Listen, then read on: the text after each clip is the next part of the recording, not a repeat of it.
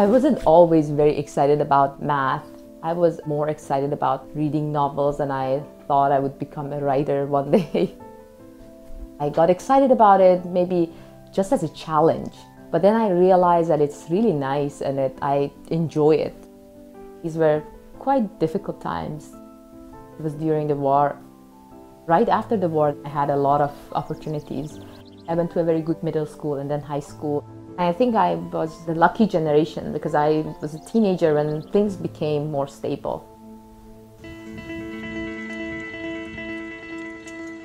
My main interest is understanding structures you can put on a surface. There are different ways of looking at it. Either you have a surface with some additional geometric structures, or this kind of problems are related to understanding the space of such structures.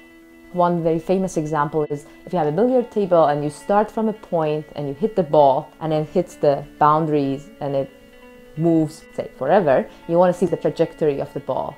Would it cover all your billiard table? Can you find closed billiard paths? And interestingly enough, this is an open question in general if you don't put any restrictions on the angles of the polygon that you started. There are two types of questions. One is about you have a surface with a geometric structure and you're trying to understand some properties of this geometric structure that you have.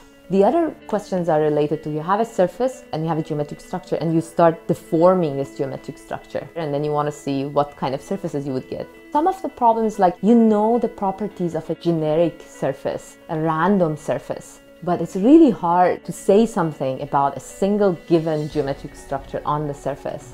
Some of the work that I've done with different collaborators shows that sometimes the surfaces are very similar to the ones of a generic surface.